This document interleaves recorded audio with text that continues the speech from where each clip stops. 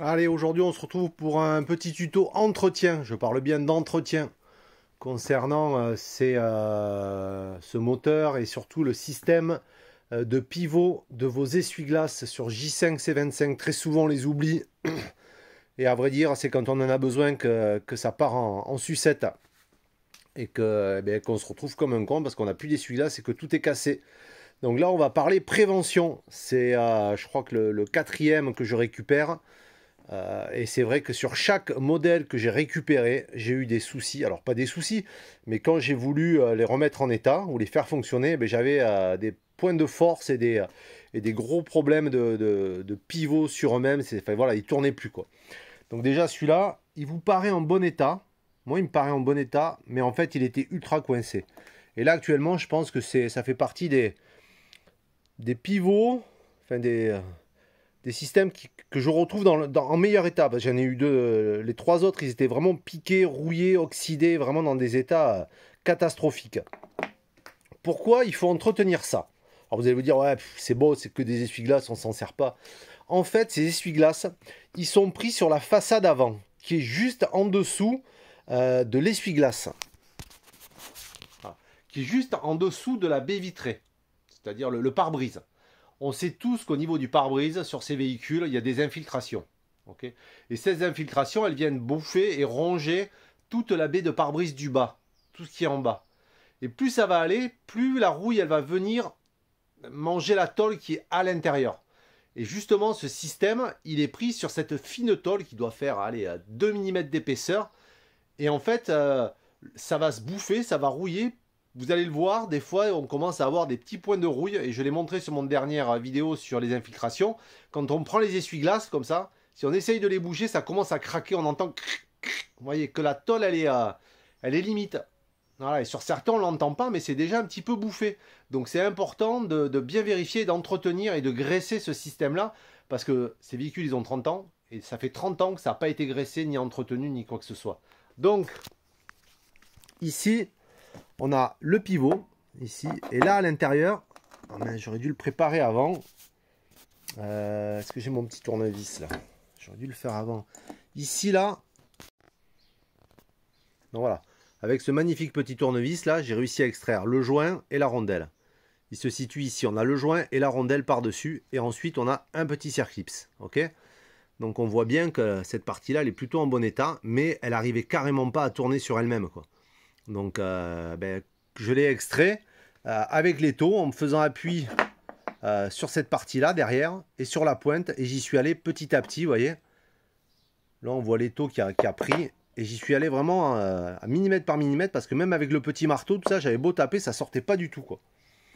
Donc, la petite astuce concernant ce, pour retirer cette partie-là, c'est de se prendre, de faire avec une petite rondelle ici, j'ai taillé pour que celle-ci vienne pile poil en appui sur ces deux parties euh, extérieures de, cette petite, ce petit circlips. Et avec un petit marteau, juste mettre un petit coup. Cette partie-là va se décaler d'un millimètre à peine. Et après, avec un petit tournevis, vous n'aurez plus qu'à l'extraire. Donc là, on se dirait, ouais, c'est plutôt en bon état. Mais en fait, moi, j'ai eu pire, hein, franchement. Donc ça, c'est vraiment quelque chose qu'il faut faire. Et surtout que sur euh, ces vieux véhicules qui ont 30 ans, c'est euh, quelque chose qui n'a jamais été entretenu par aucun propriétaire. Les gens, et tant que ça fonctionne, ça marche. Le problème, c'est que maintenant, euh, on est en 2024, ces véhicules ont 30 ans en effet, et que comme vous savez, il y a la rouille. Le point le, plus critique sur ces véhicules, c'est le pare-brise. Parce que le joint n'est pas vraiment étanche et la rouille, elle vient l'eau, elle vient stagner dans cette baie de pare-brise qui est en bas et elle vient la bouffer petit à petit avec le temps et c'est oxydé. Et tous les C25 que, j'ai démontés et que j'ai dû réparer, eh ils avaient tous cette baie vitrée de rouillé. Il n'y en a pas un qui n'était pas rouillé. Quoi. Même ceux qui avaient des capucines, euh, c'était rouillé. Quoi. Donc euh, ce qui va se passer, et même si vous testez chez vous, vous prenez votre essuie-glace et vous essayez à l'embase, tu vois, là où il y a la vis, de le bouger. voyez, pour voir si la tôle elle est bien rigide. Et vous allez voir que soit elle est rigide, soit ça va commencer à faire crac, crac, crac, crac. Ça veut dire que déjà vous avez une partie qui est attaquée. Et si vous voyez un petit peu de, trucs un petit peu marron orangé, c'est que la rouille est déjà là. quoi. Donc euh, si euh, vos essuie-glaces commencent à se gripper, ça va forcer sur la tôle, puisque c'est fixé avec la tôle. ça va forcer avec la tôle et vous allez voir qu'à un moment, ben, c'est la tôle qui va bouger l'essuie-glace il va rester sur place parce que le moteur lui il pousse quoi. Et souvent quand je vois des gens qui disent qu'ils sont à la recherche de moteurs d'essuie-glace, c'est souvent parce que euh, ces pièces-là sont rouillées, sont grippées et le moteur il force tellement que les engrenages y cassent et que le moteur crame. Enfin voilà, il y, a toujours euh, normalement ça devrait pas casser ça. C'est juste que c'est mal graissé.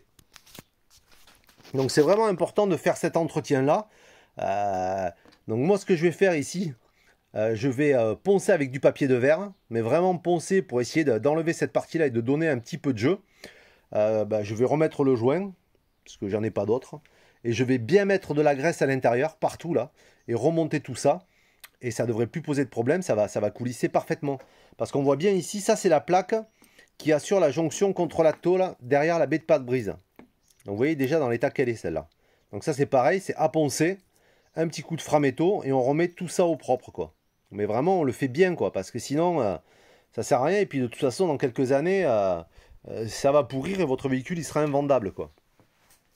Donc là on voit qu'il y en a une deuxième et pour le retirer tout ça c'est très facile, il faut bien faire attention à ce petit loquet. En fait il vient ici. Voilà. Donc on vient passer un tournevis dessous pour l'extraire euh, de, son emplacement. Et après, avec une pince multiple ou un autre outil, vous avez juste à faire un quart de tour pour le faire correspondre à ces emplacements-là. juste un quart de tour et normalement, il vient, il vient se positionner juste là et vous pouvez l'extraire. Voilà. Et pareil pour l'autre, ici, on peut le démonter. Et là, euh, là vous voyez, j'ai mis du W40, mais c'est pareil, celui-là, il bouge plus. Pourtant, c'était sur un véhicule sur lequel, quand je suis rentré avec, les essuie-glaces fonctionnaient puisque je les ai vérifiés.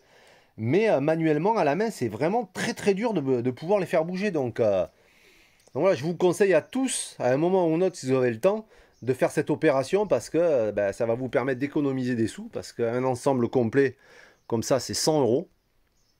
Et, et, surtout, c'est surtout votre baie de pare-brise parce qu'à un moment, si celle-ci se déchire, eh ben là, ça va plus être 100 euros, ça va être une catastrophe. Donc, ça vous permettra aussi de pouvoir mettre un petit coup de framéto sur cette jonction ici qui est au niveau du pare-brise et qui peut-être vous permettra de pouvoir euh, faire durer l'ensemble de votre véhicule. Voilà, c'était les petits tutos de Danin Danfree. Allez, à plus pour de nouvelles vidéos.